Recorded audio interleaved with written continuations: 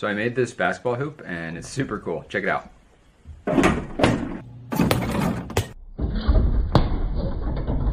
So it turns out great. Not only does it sink shots, it knows all about your shot. It knows where it came from. So you could potentially do some cool training things like know if you're shooting consistently. Thanks to facial recognition, it also knows who is shooting. This makes it really easy to just completely wreck my. So the, the basic gist is that the backboard is tracking everything that's going on in the room. It figures out if a ball is coming at it and what trajectory it's on, and then it uses that information to figure out how it needs to move the backboard so that it'll direct the ball into the hoop. So it works pretty darn well. So getting this whole system working was not easy.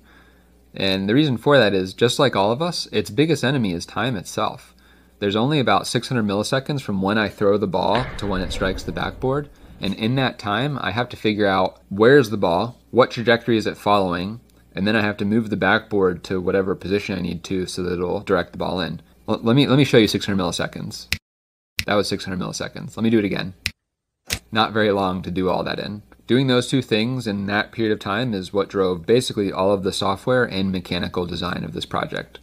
All right, let's dive in and I'll show you how I did it. So what in the world is going on with all this mechanical design? I can move it in and out, I can tilt it left and right, and I can nod it up and down.